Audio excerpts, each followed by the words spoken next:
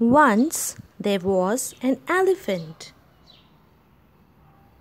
He daily went to a pond to drink water. He stopped daily at a tailor's shop. The tailor gave him something to eat. One day the tailor was absent. His son was working there. When the elephant came to his shop, he pricked his trunk with a needle. The elephant was very angry.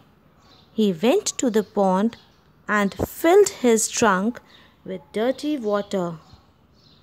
When he came back to the tailor's shop, he threw all the dirty water into the shop. Thus, he spoiled all clothes of the son.